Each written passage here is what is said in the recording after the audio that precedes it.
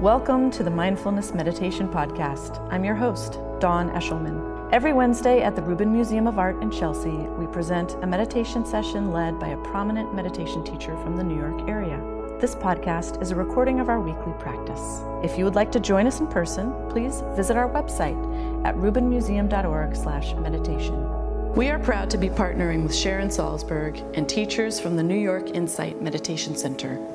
The series is supported in part by the Hemera Foundation. In the description for each episode, you will find information about the theme for that week's session, including an image of a related artwork chosen from the Rubin Museum's permanent collection. And now, please enjoy your practice. Good afternoon, everybody. Welcome to the Rubin Museum of Art and to our weekly mindfulness meditation practice. My name is Dawn Eshelman. Great to have you all here.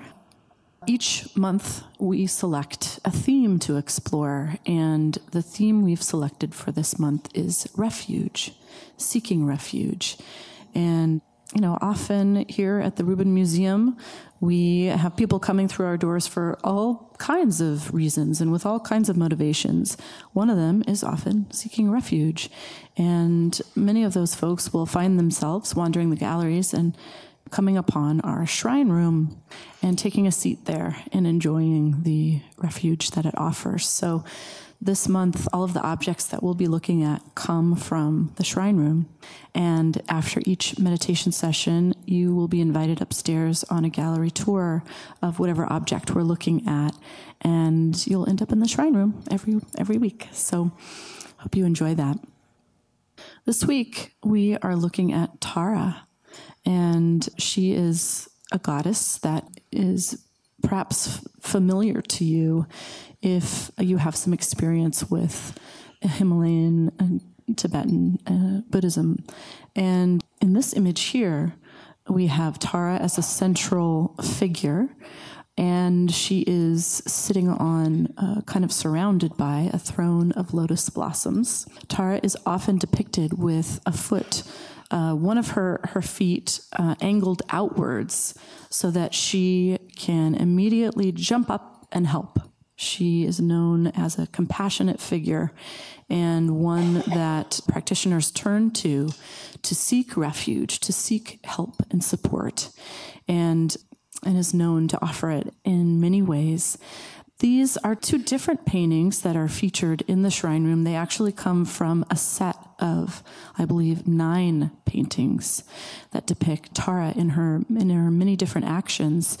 And Tara is known for offering refuge for travelers that are on their on their journey and also for helping people face the eight great fears and the eight great fears, I've got, a, I've got them here in a list in case you're curious drowning, thieves, lions, snakes, fire, spirits, and flesh eating demons, captivity or imprisonment, and elephants. And of course, you know, these are real fears. They all are also symbolic. So I'm going to read those two as well. And the one that is pictured here that Tara is helping to protect someone against is the fear of drowning. And that symbolizes craving.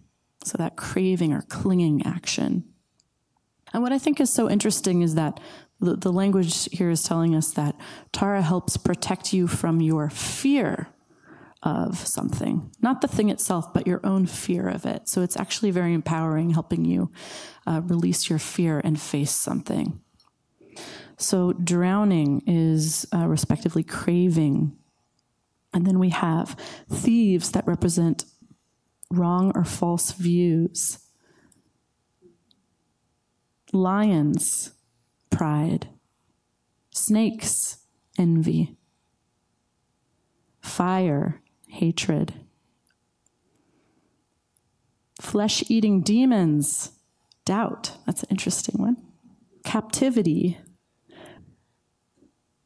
or imprisonment, and then elephants, which is ignorance.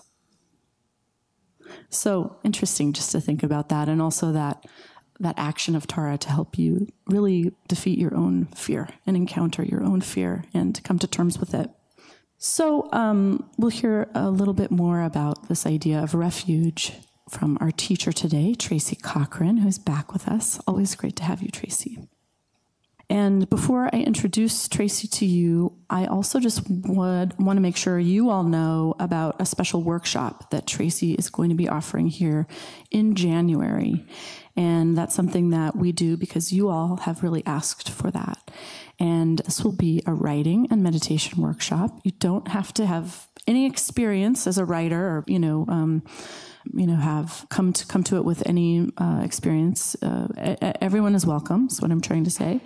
And and I'll let Tracy. I would love it, Tracy, if you will talk a little bit about more specifically what people can expect. Tracy Cochran is a writer and the editorial director of the quarterly magazine Parabola, which can be found in our shop, of course, and online at parabola.org. She has been a student of meditation and other spiritual practices for decades. And in addition to teaching here at the Rubin, she teaches uh, as part of the Hudson River Sangha, Tarrytown Insight in Tarrytown, New York. And you can find more about her and Parabola on Facebook, Twitter, and tracycochran.org. Please welcome her back, Tracy Cochran.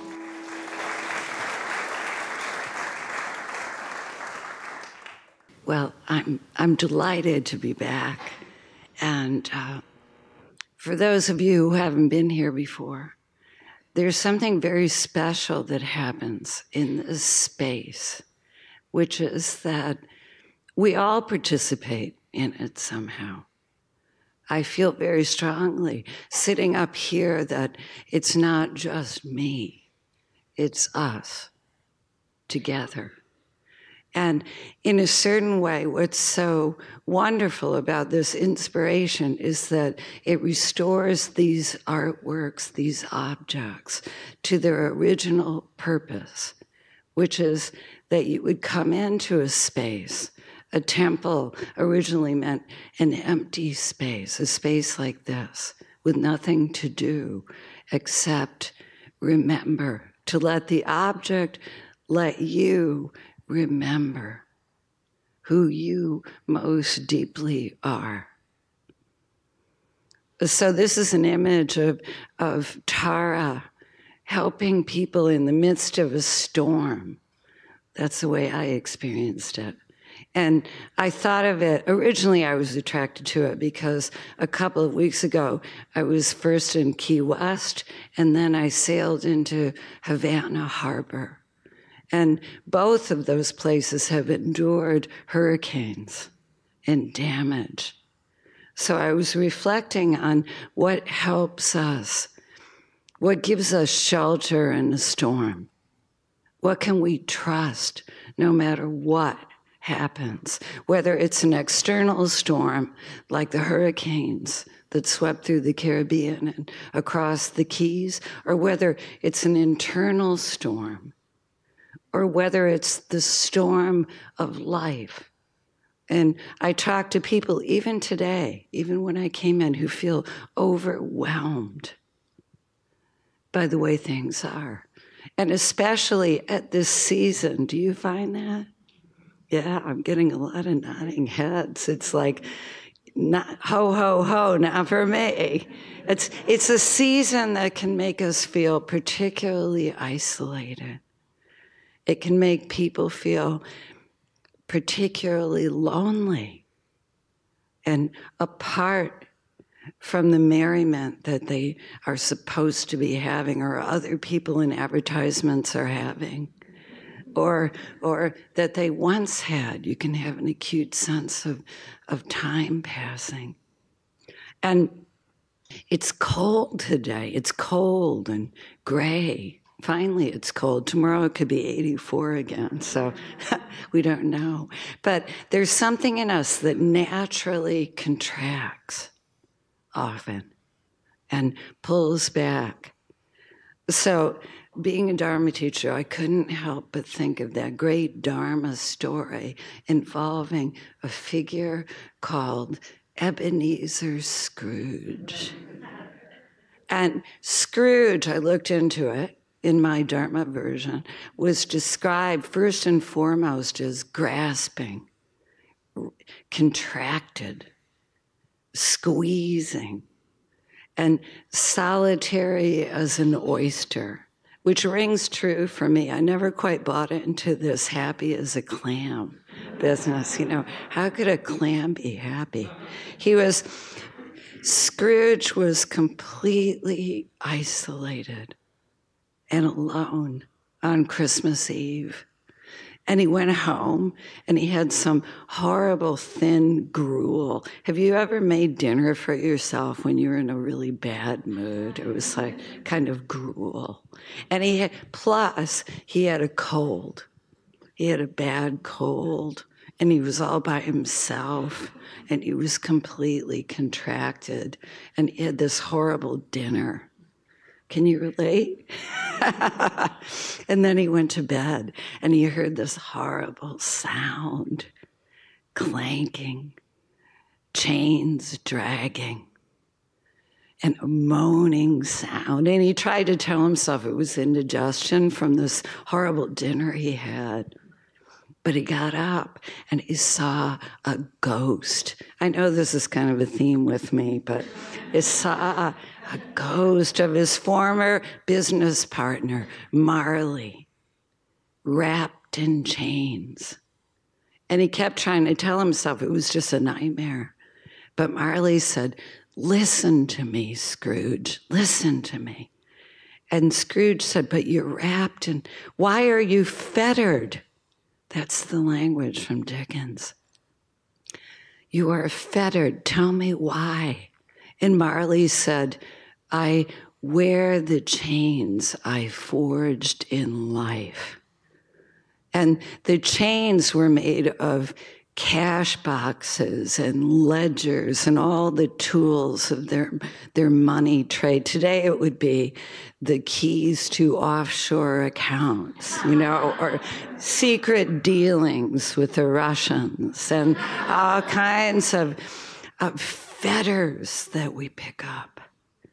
And, and, and Marley's going, Scrooge, you have to remember you're more than what you did in our money grubbing little hole. It, it, he describes it as a hole. And Scrooge is like, I don't understand. You were an excellent man of business. And Marley said, Business. And he had this horrible moaning voice. Business, humanity was my real business. Being alive, caring for the earth and for life, that was my real business. And, and Scrooge isn't quite buying it. And Marley is saying, Scrooge, basically, he's saying, remember, remember you're more than you think you are. And even when we come into this room, uh, all of us on any individual day, just to get here, we have an identity. We cling to this idea of who we think we are and who we think we aren't. And what we think is possible for us in what is no longer possible for us. And what we're invited to do when we sit together here is to do nothing in particular. There's nothing that you have to do or gain or learn. You have to engage in something that I think of as a kind of thawing out so that you begin to remember that there's a body sitting here, breathing. There's a heart beating inside the body.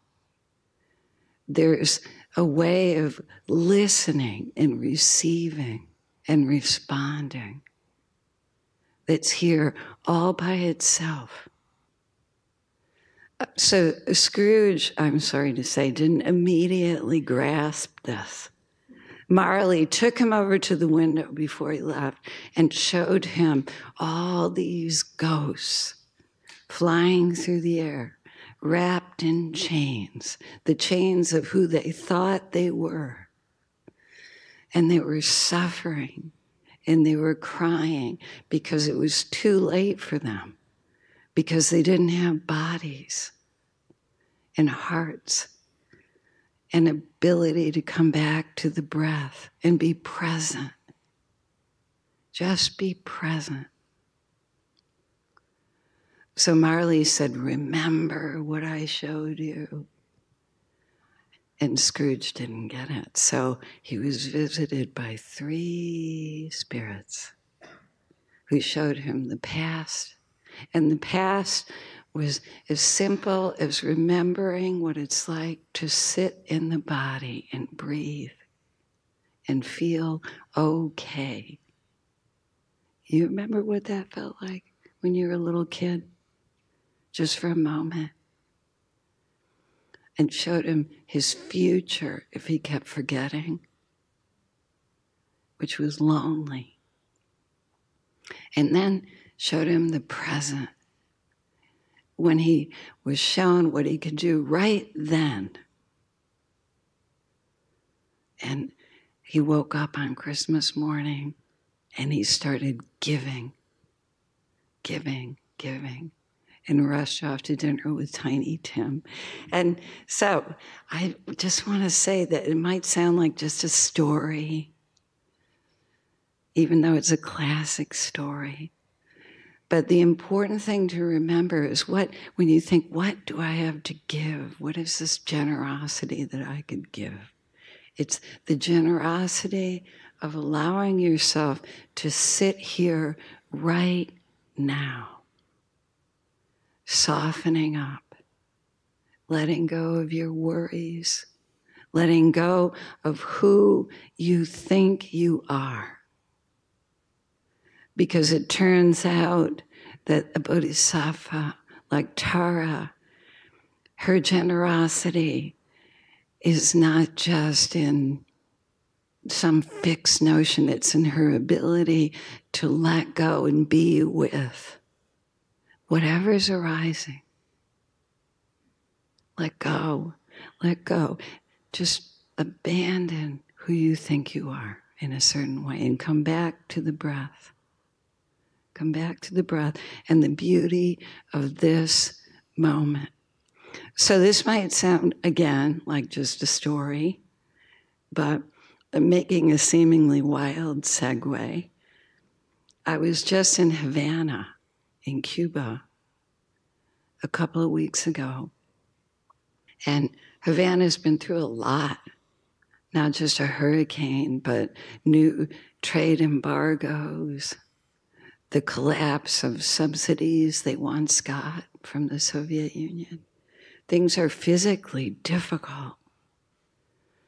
So that even my tour guides, nobody has running water all day long. Nobody. But in the midst of this, I was taken to this little neighborhood called Fusterlandia. It used to be a village, and now it's part of Havana. And there was a great artist, folk artist, named Fuster. And forgive me if I'm mispronouncing it. And he had a little wooden house and not much else. No money, no prospects, no running water all day long. Probably some excellent rum and a few superb cigars, but that was about it. So he started making this beautiful mosaic art and he covered his house. And then he asked his neighbors if he could cover their houses with art. Yes, yes, yes. Now it's 80 houses. It's a whole village. It includes this wild, free, beautiful art. Like there was one house completely dedicated to Princess Diana. Why? Who knows? And it had this big, beautiful rooster on it. Why? I don't know. but just to be in this neighborhood, remind you that beauty can happen with the next breath, the next little piece of glass that you find from a Coke bottle or something. What there is to do is what's present, to be present is beautiful, no matter what.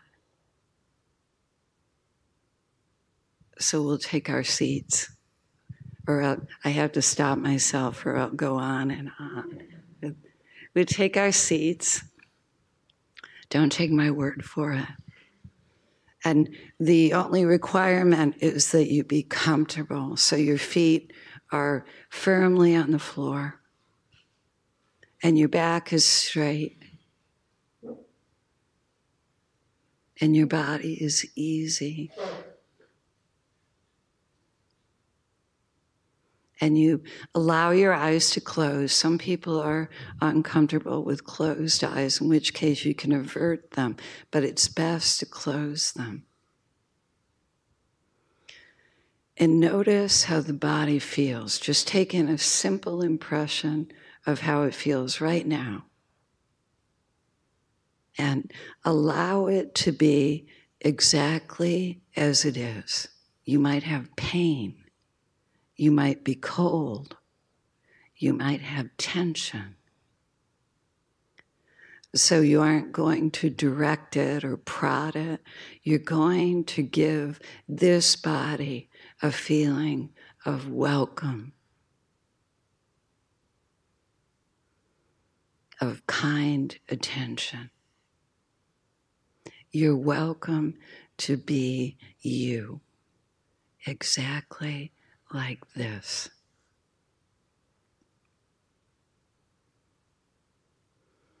Noticing how the attention itself begins to relax us a little bit. And as we notice this, we allow the attention to come to the breathing without seeking to change it in any way. We just notice the in breath and the out breath. And the experience of sitting here in this body.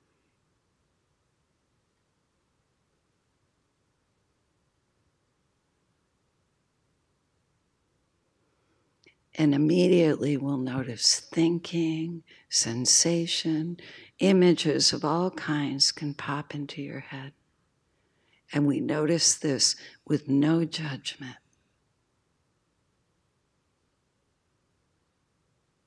No comment, even about our judgments and our comments.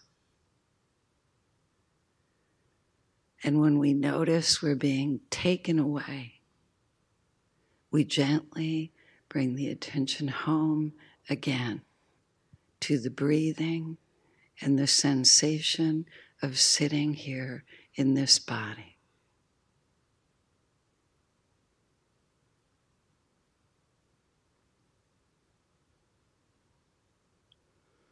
Sati, the ancient Pali word for mindfulness, literally means to remember to remember the experience of the present moment, of this body breathing.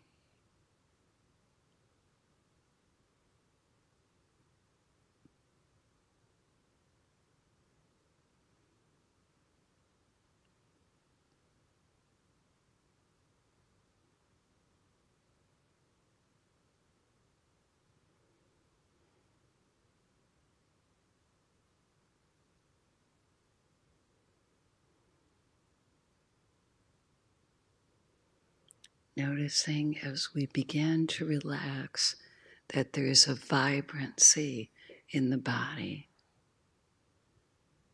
a responsiveness that isn't thinking.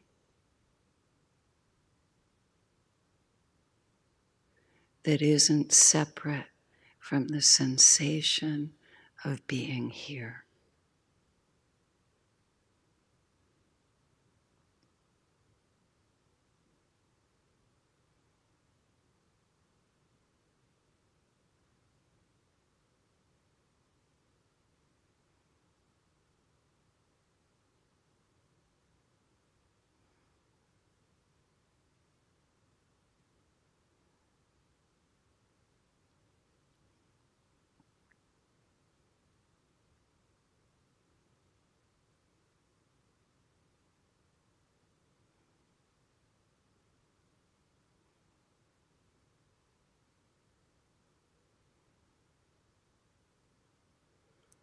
Noticing that there is a kind of stillness that doesn't mean silence, but non resistance. A softening to what is. A willingness to come home to the breathing and the body and this moment.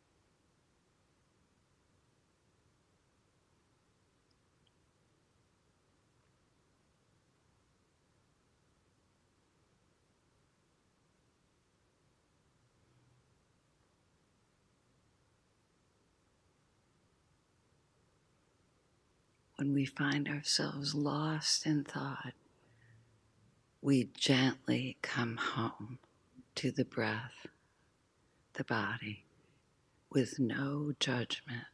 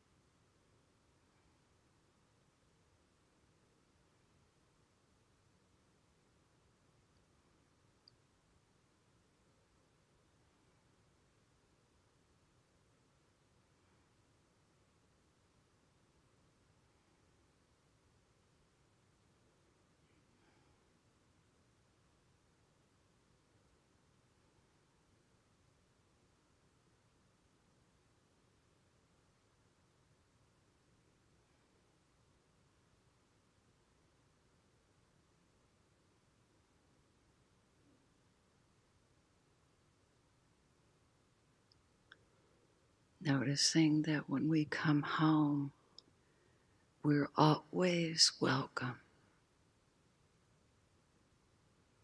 into the light of an awareness that doesn't judge, that sees, that receives, that lets be.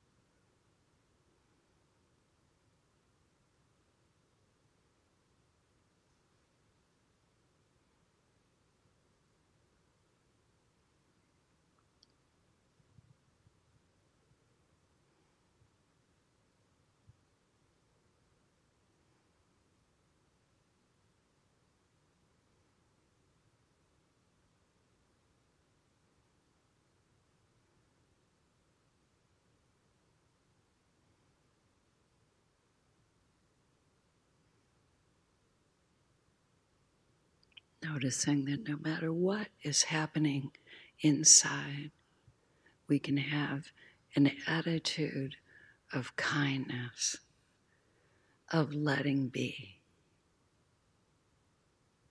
of harmlessness.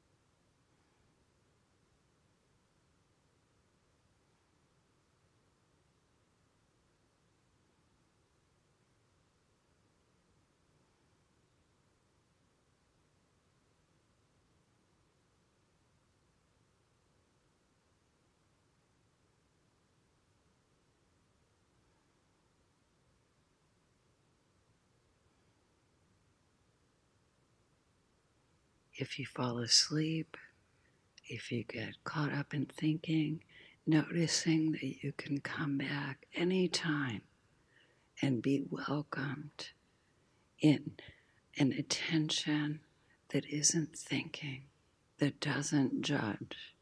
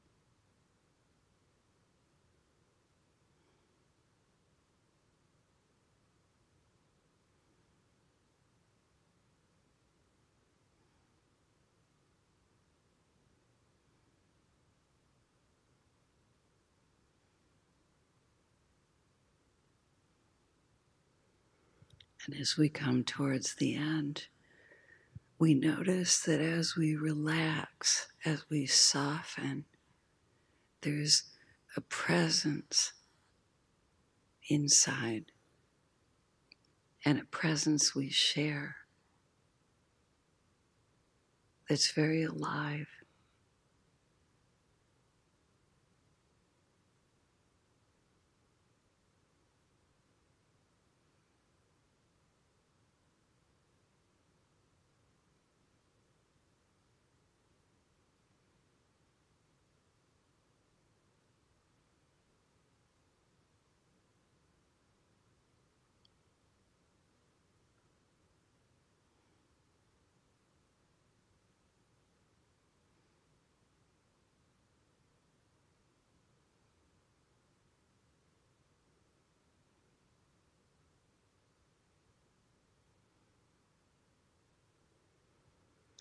We notice that by being still, we haven't shut down, we have opened to life.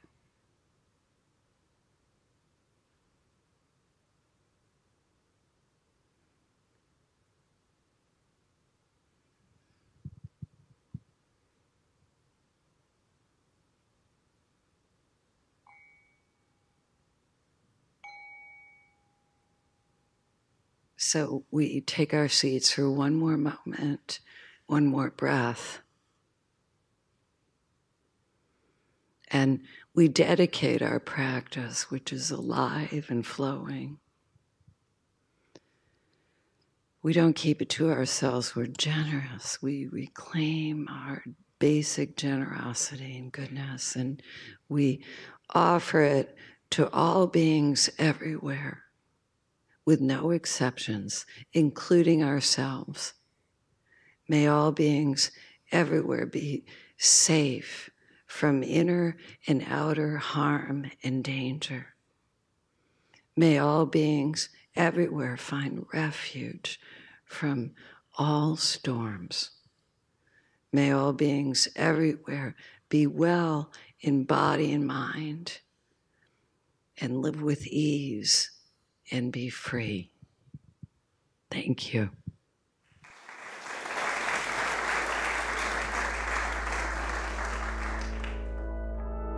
That concludes this week's practice.